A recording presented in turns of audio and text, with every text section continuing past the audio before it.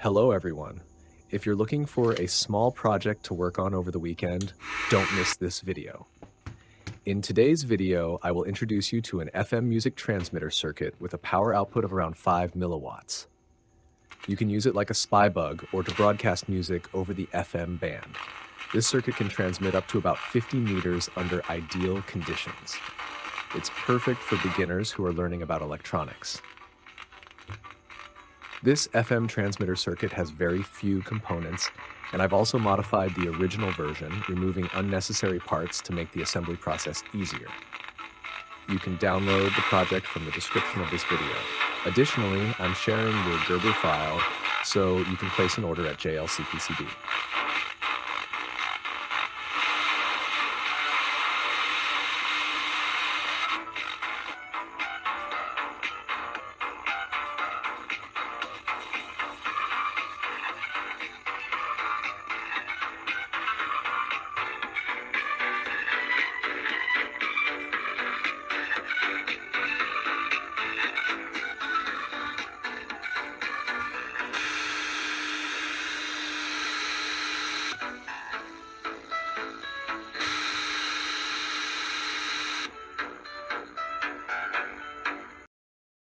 Ordering PCBs from JLCPCB is very easy. You just need to visit jlcpcb.com and create an account, then click on Order Now and upload the Gerber file. This process is very quick. You can then use the integrated Gerber viewer to carefully check your design, which is my favorite feature of JLCPCB. If you're satisfied with the design, save it to your cart and proceed to checkout. You can pay using a credit card, GPay, or PayPal. The cost of the PCB and shipping fees are very affordable.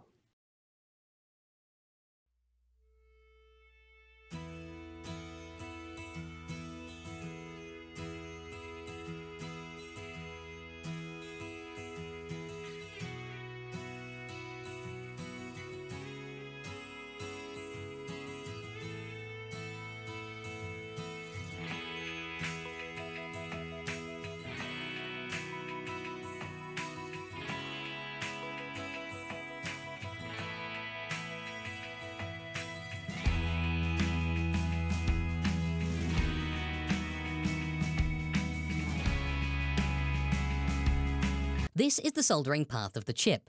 How would you route it?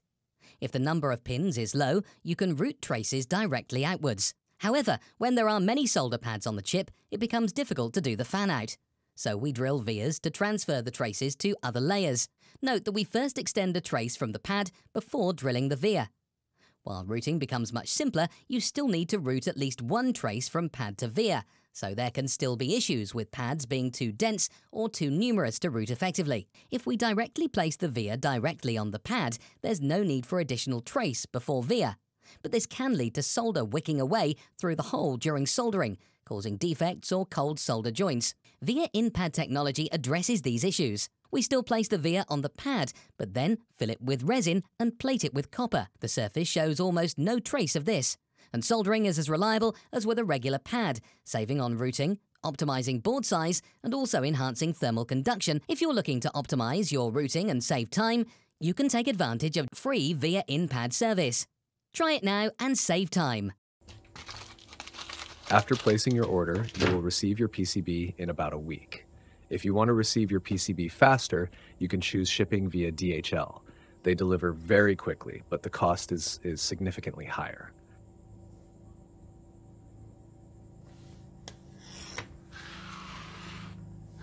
Here are the necessary components to assemble this circuit.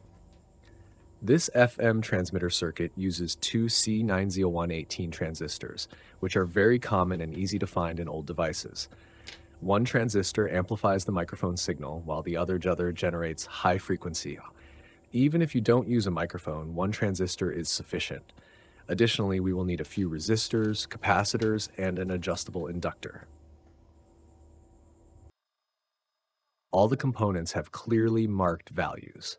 A beginner in electronics can easily assemble this circuit, so don't worry. Even if you don't have components that match the design, it will still work well. Just adjust the value of the inductor and the circuit will function as intended.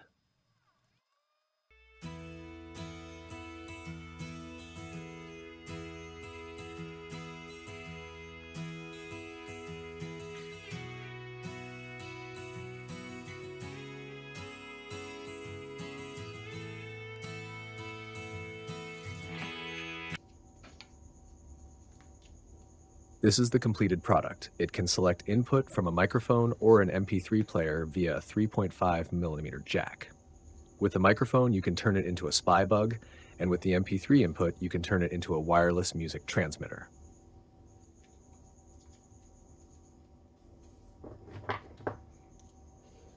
This circuit operates with a voltage range of 3 volts to 9 volts. You can use two ALA batteries, a 3.7 volts rechargeable battery, or a 9 volts battery.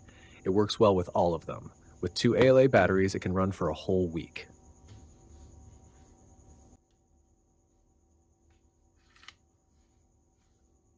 To adjust this circuit, turn on your FM radio and set the frequency to around 95 megahertz. Then, adjust the trimmer inductor until you notice that your radio suddenly becomes silent. After that, you can blow into the microphone to test it.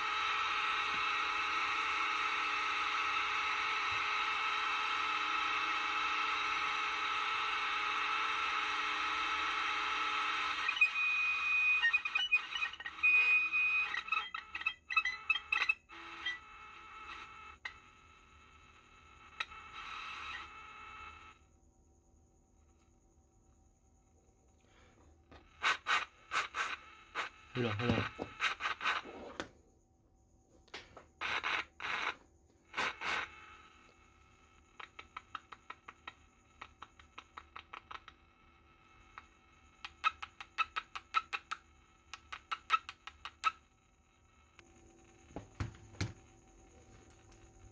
Now you can connect it to your phone. If the sound is not clear, continue to adjust the trimmer inductor.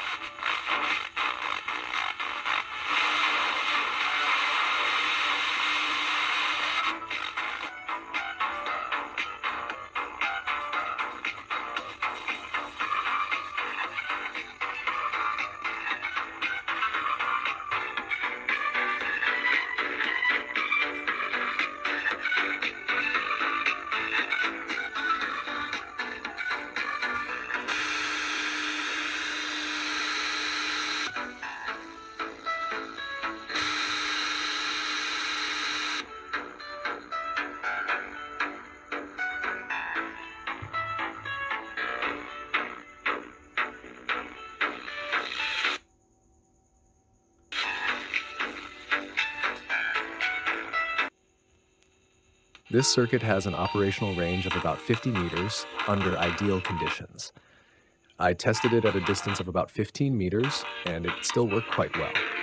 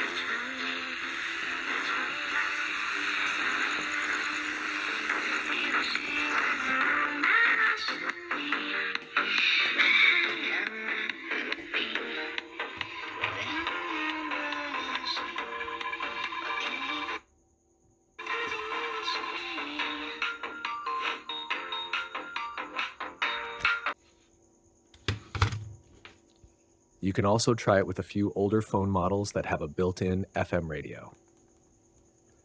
Turn on the transmitter circuit and use the scanning function. You will receive the signal from the transmitter